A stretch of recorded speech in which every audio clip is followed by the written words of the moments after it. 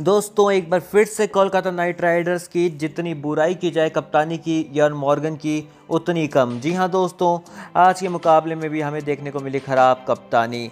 पंद्रह ओवर में दोस्तों के के आर ने कोई भी रन नहीं बनाए। आंद्रे रसल कहाँ है? जी हाँ दोस्तों, सबसे बड़ी बात है, आंद्रे रसल कहाँ है?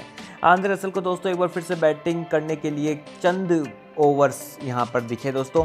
आपको बता दें दोस्तों, यन मॉर्गन की कप्तानी पर सवाल उठाए गए, क्योंकि जो गलती की वो एक बार फिर से दोहराते हुए नज़र आए। जी हाँ दोस्तों, सुनील नरेन को यहाँ पे आंद्रे रसल जैसे ताकतवर प्लेयर से पहले भेज देते हैं। जी हाँ दोस्तों, हम यही आपको बता रहे हैं, इस वक्त मैच में दोस्तों चौदह ओवर हो गए और आंद्रे रसल बैटिंग करने के लिए नहीं आए। आंद्रे रसल सिर्फ़ डगआउट में गुस्से में दिखाई दे रहे हैं। इयन मॉर्गन उनसे काफ़ी दूर बैठे हैं। दोस्तों, इन दोनों प्लेयर की अनबन अब साफ़ तौर पर देखने को मिल रही है कि किस प्रकार से इयन मॉर्गन आंद्रे रसल को बल्लेबाजी से दूर रख रहे हैं।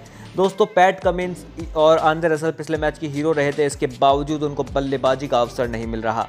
आंद्रे रसल के चेहरे पर मायूसी साफ़ तौर पर डगआउट में देखी गई किस तरीके से मायूस आंद्रे अपनी बल्लेबाजी का इंतज़ार कर रहे हैं।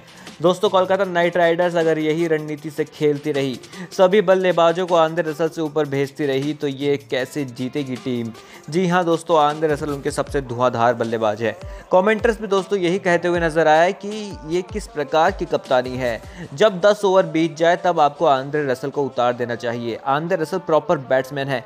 केवल डेथ ओवर में बल्लेबाजी करने वाले नहीं है। उनका आप जितना यूटिलाइजेशन ले सकते हो, लेना चाहिए।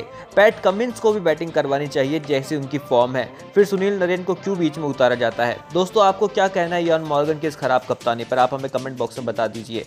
और दोस्तों सब्सक्राइब कर दीजिए खेलो खेलो ताकि और भी खबर आप तक पहुँच जाए सबसे पहले।